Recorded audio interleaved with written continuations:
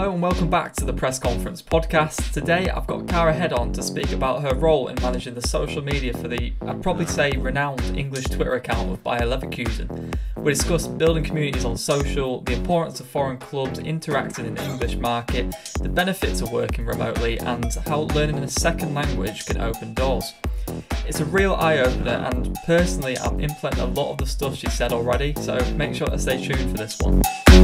So, Kara, just firstly, my first question is just describe what essentially is your job for the club, you know, managing a, a German club's English account.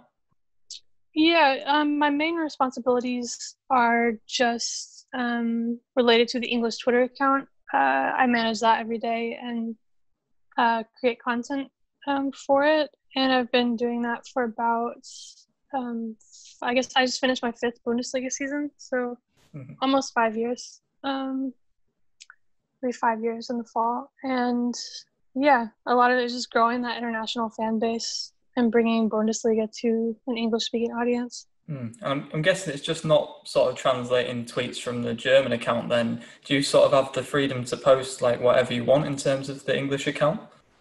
They do give me a lot of creative freedom, yeah. Um, I mean, some stuff is just translated when it comes to like interviews and player statements and stuff. Obviously, that's just a direct um, German to English translation, but it's kind of uh, the personalities of fans on both sides are quite different, mm. and the needs of get the international fan base is quite different. So um, obviously, the strategy is like a bit altered to that perspective.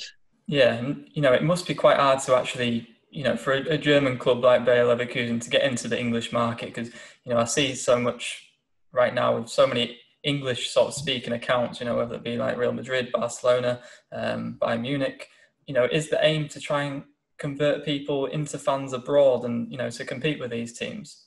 Yeah, I don't see it as much of a competition with other teams as I do just building like the brand itself. I think we've created like a really unique voice um, in the English speaking mm-hmm. audience. So I don't see it as like a big competition. I see it more as like just finding where we fit in and if people enjoy it great. If not then it's also fun. But i think we had a really good shoe in when we first started with chicharito in the us market because he was already really big and a lot of people knew him.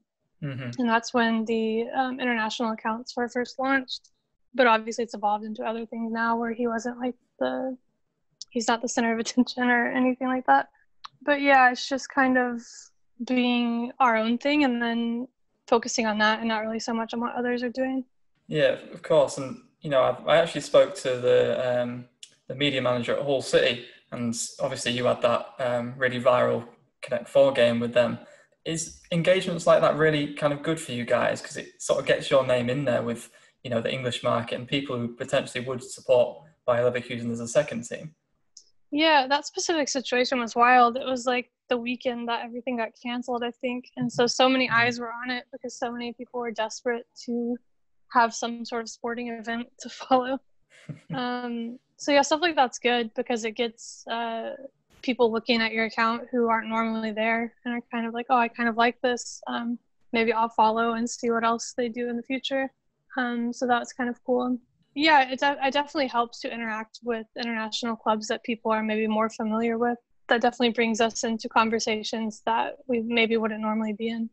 Yeah, something like that is that you know I'm guessing it was sort of off the cuff. You know, was it planned at all between you, or you know, it was such a random encounter? I'm sort of trying to figure out a bit of the background to this.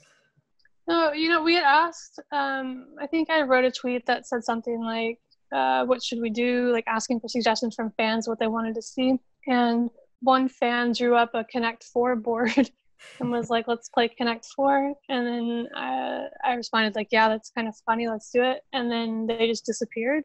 And then the Hull City uh, admin came in and was like, well, we'll play. Um, so it was very like spur of the moment, which usually the best performing things on Twitter specifically are. I think it's a very like reactionary app. And so yeah, it was all very like organic and not planned at all.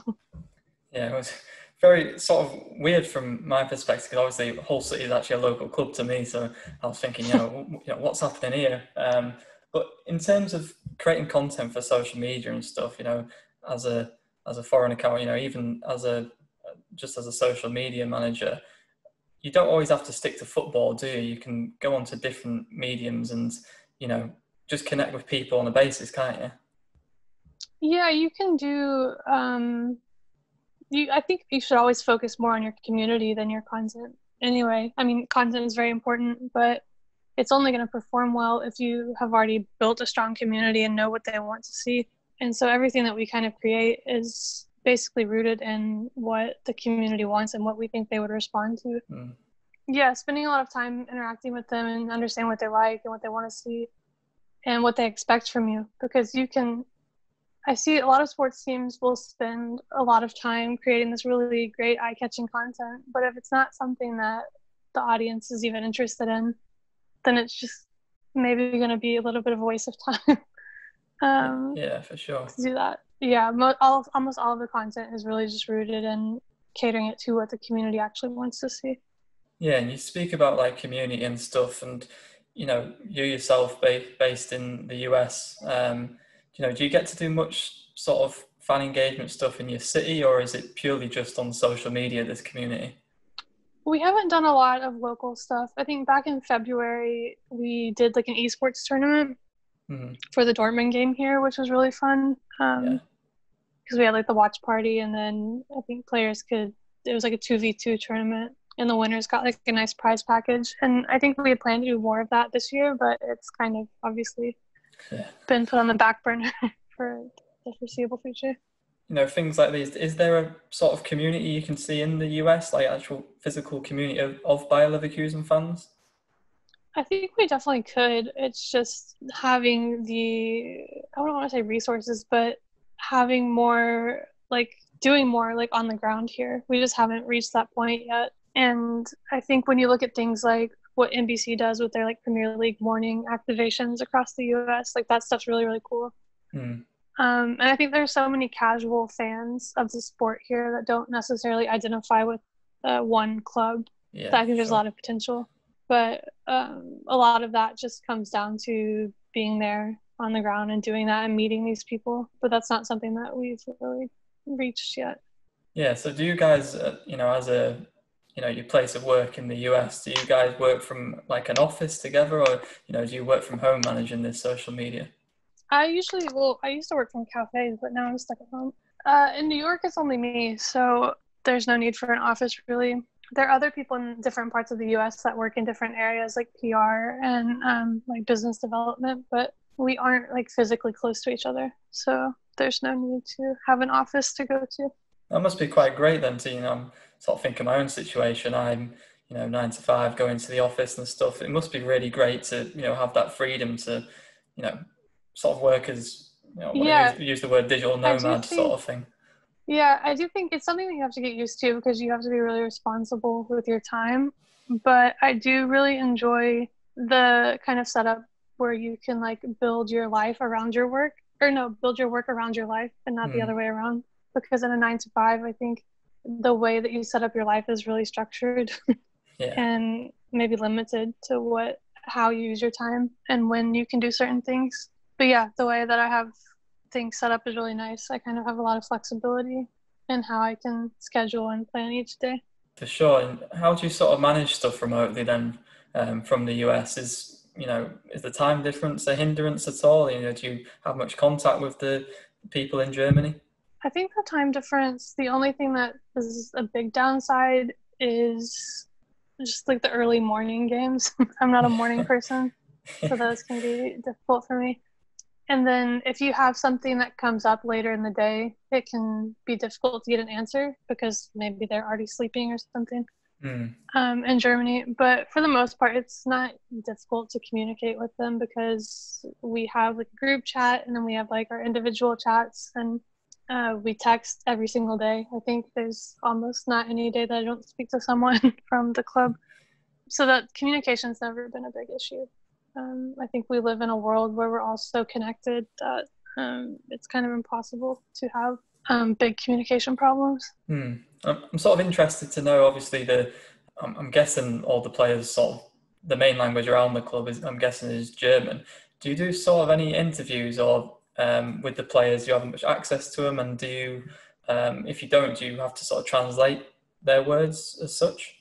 Yeah, I only go over there like two or three times a season. I think in a normal season. So I am only seeing them a couple times a year. So I'm not mm-hmm. necessarily mm-hmm. conducting a lot of interviews. Uh, yeah. If I do ask players questions, it's in English, of course. But most of the time, the interviews are being done in German because even though they all speak such good English, I think they prefer to speak in German because that's their native language. And so usually I'm just translating those. And um, of course, if there's Spanish or Portuguese or something, then I'll be given the translation because I don't speak those languages. But there is a ton of translation work involved in all of it.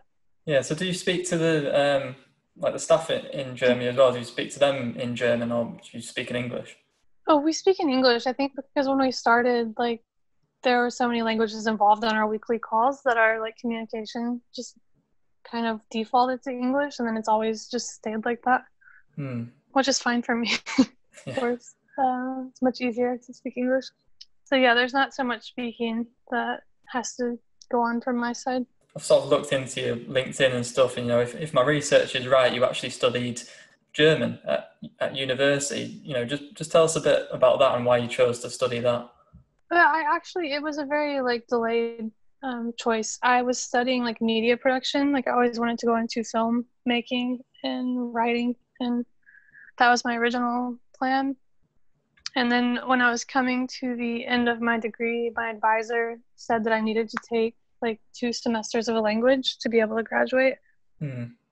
And I'd signed up for, I think it was Hebrew or something. I signed up for a really random language, and the course got canceled because um, like no one signed up for it. And so then I ended up having to take German because it was at the same time. So it wasn't even really something that I chose of my own it just was something that kind of happened. But then I ended up really enjoying the classes, and I thought learning language was super fun. And um, I really enjoyed the department. They were the best like professors that I'd had my entire time uh, at university, and so I got an opportunity to go abroad for like a year. To I just extended my degree to add a second major um, in German, mm. and that's how that became part of my degree. So studying like abroad for a year to finish up that as a second major. So it wasn't something that I had originally planned.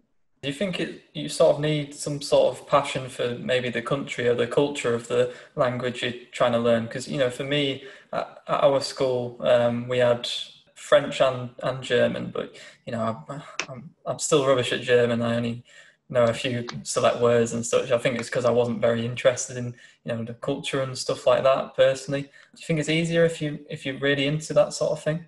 I don't know. I think it would help if you really are excited to like move somewhere or work somewhere. But for me, I think the thing that made the biggest difference was just the t- the way it was being taught and um, the environment I was learning in um, at my university. It was just a really positive experience. And I think a lot of times we associate like language learning with like experiences in school that are not so positive or not so fun. It's just kind of like mm. something that you have to do. And I think what makes a difference with any language probably is going to be the way in which you're learning it and making sure it's like an enjoyable experience and not something that feels tedious and difficult. When you took on German as, you know, that second major, as you said, was it always sort of in your head that you wanted to maybe move abroad to work in a, in a you know, a German job, maybe a translator job? I wasn't really interested in translation. I did once I was living there as a student. I was like, wow, I, I really like it here. I could imagine a life here. Mm. Um, but when I had first decided to go over, I think I had no idea really what I wanted to do. I just knew that I, I really enjoyed making things. And as I said, I was interested in filmmaking. And some of my initial thoughts were just kind of like, okay, this is something I'll do. I'll finish the major and see what happens. And then I just really enjoyed being over there. So I ended up staying an extra year not to study, but I got a job in Berlin for a year as like a video journalist. And then I came back after that. But I think starting to learn the language definitely changed my opinions on like if I would live abroad or what I would like to do with my life. Yeah, and did you always, you know, after you graduated and stuff, did you always think about getting into social media or did that come later?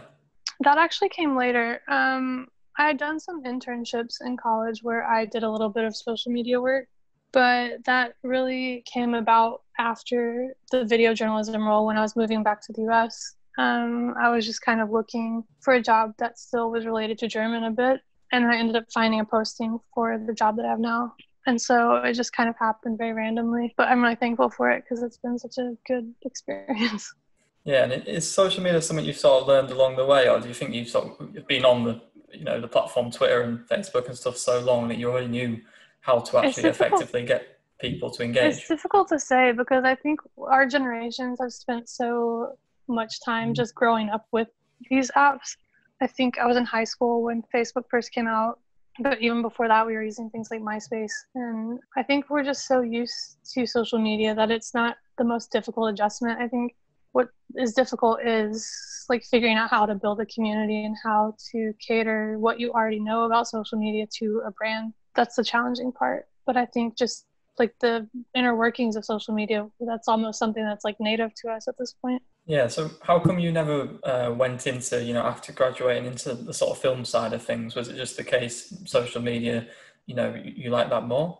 I mean, I did. I did really enjoy what I was doing with social media. I did some production work on on the side too, and um, like working as a production assistant and things like that. And I thought that was okay. I, I learned a lot about working on set and stuff, but that path wasn't necessarily for me. I think I'm learning more now about storytelling and um, content creation than I would be if I was kind of working my way up a film set. So that's kind of why I focus more on social media for now because I think I'm everything I'm learning now is more useful than what I was learning as like a production assistant. But I guess that production assistant experience probably gave you a really good grounding on how to actually create content for social media, didn't it? It's actually quite different. I think a lot of the production assistant stuff is like very um, like making sure sets are closed. You're not really doing a lot. You're just kind of assisting, so you don't really get a ton of hands-on work. I think. Okay. What's helped me most with like social media stuff is like my passion for like storytelling and just being creative and yeah i think that's just what helps me the most in social media is like caring more about storytelling yeah for sure. So in terms of it looks at obviously looks at your career history along the along the way and you know was it a job you got with the It, was it the bundesliga you got with the english accounts? Sort of how did that come about? Um the bundesliga role that came about I guess maybe a year or two after I was doing the Leverkusen account, I was approached by someone with the Bundesliga who um, asked if I would want to do some stuff for them as well. And so I said yes. I thought that would be fun. Mm-hmm. Um, I did that for a couple years, but I stopped a little while ago because I just wanted like more weekend time to myself. Yeah. Um, because it's hard to work every day of the weekend because I was like never seeing friends and stuff. Yeah, I think that's the but big that thing was, with, with football yeah. as well, isn't it? You know, it's weekend games and stuff. And was that essentially like two full time jobs then? No, because my work with Leverkusen is only part time, and it always has been. So I've always kind of balanced it with other stuff, like the production assistant thing, or when I was working at the Bundesliga. So it's always just been like uh, freelance. And did when you got the job at Leverkusen, did you approach them and apply, or did they sort of find you? Uh, it was a job posting. I think it was on Indeed and so I applied there and just did like a normal like interview, like with any other job. I think there's a lot of luck involved, just like the right place at the right time, and having like some like the skills and things that fit with the role. Being at a football club and that, I guess you had a uh, you know an interest in, in football as well. Yeah, definitely. I started playing football when I was like three or four, I think, and I played all the way through my like teenage years. Um, I was like on a travel team. It was like I was super obsessed as a kid. I didn't imagine working in it as an adult, if I'm honest. But I mean, I'm happy to be. yeah. It's a good time. Um, it's a lot of fun. I guess as growing up, I never imagined like what a career in football would look like if you weren't a footballer. Yeah. Um, and I think that's why maybe I didn't pursue anything. But yeah, it's just kind of a really weird combination of all these different things that I'm interested in. I don't know how it happened to be honest, but just to have something where it's like the language that you learned, the sport that you liked, and um, and like the storytelling, social media aspect of it. It's a little bit crazy. Yeah, it sounds, um, well, sounds like you've got the perfect job for you, really. I think football media as a whole is so hard to get into. You know, I did three years of, you know, just free work just to get my foot in the door. And for yourself, do you think that second language opened the doors and, you know, got your foot in the door essentially? I would definitely say that. I think it's so rare, especially we're so lazy as native English speakers when it comes to learning languages. Mm-hmm. Um, but I think it definitely opens the door, especially if you want to work in like international football, because there's not so much, there's far less competition um, when you're a native English speaker who has additional language skills because you're just going to be so far ahead of so many other native English speakers who want the same job. I think if you're looking at like Premier League stuff, it might be different because I don't know how high the needs are for additional languages there. Um, but working in other leagues for sure, I think learning a second language is would be really important. Yeah, I think a lot of you know just from what I've seen from some Premier League teams like Manchester United and stuff, they're going on to sort of Spanish, Arabic accounts and such. For you, what do you think's the best language to learn? Obviously, I know you you do German, but in terms of a football sense, you know, is German the the one which people are looking out for at the moment? I think it depends on which league you would be interested in working in because I think all of them are looking to grow in the uh, international markets, um, especially the English speaking markets. So I don't think you can go wrong. Obviously, if you think about the top five leagues, you have like German, French, Spanish, Italian. Mm. I think those would be like your safest bets. But I think I don't think there's one that is better than the other in terms of those. In terms of the US as well, obviously you said you grew up playing football, you know, soccer as it is over there, and how much um, has that helps the opportunities in terms of you know the jobs we do in social media and media? Because you know MLS is a lot bigger than it was you know five, ten year ago.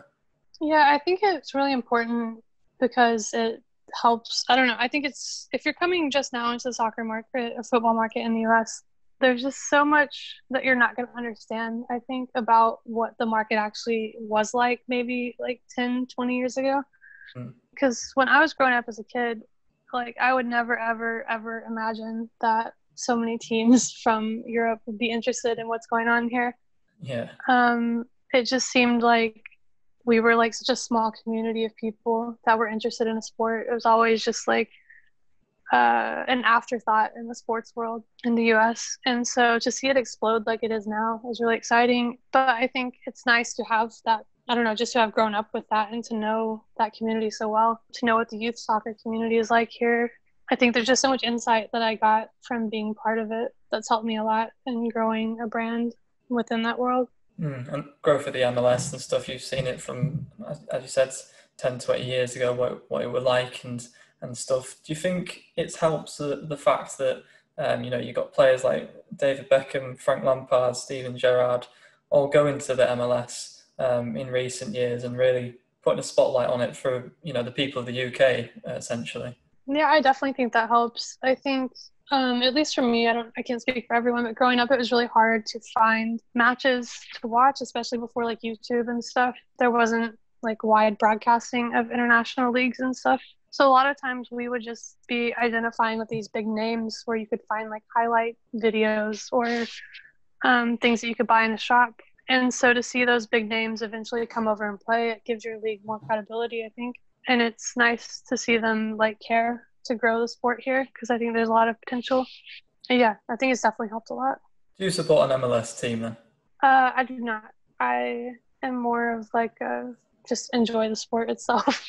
I think there are two teams here in New York, and I've only gone once. I went to a derby match, but it actually was really bad. I think the I think NYCFC lost like seven okay. to one.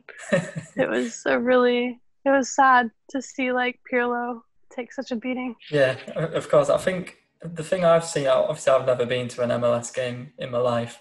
Um, I've seen it on TV and such. The thing I, I see about the MLS is it's so commercialized, I think, and you know, just you know, it's obviously got that American feel. You know, do you think that's a real sort of factor in you know jobs and stuff coming up there? And they put you know people in America put the emphasis on you know marketing and social media and uh, build up yeah. this big brand. Yeah, I think there's definitely a lot to do there. Um, I think I think their specific situation is challenging because all of the MLS is con- all of MLS stuff is controlled by like MLS, like every individual team. Hmm. Um, and all of the applications go through like one source which is like teamwork online so i find it really difficult for people to get their to get their like stuff out there because there's only really one channel unless you know someone so i hope that they'll open up the way that they do hire talent at some point because I do think there are a lot of jobs there and there are a lot of talented people that could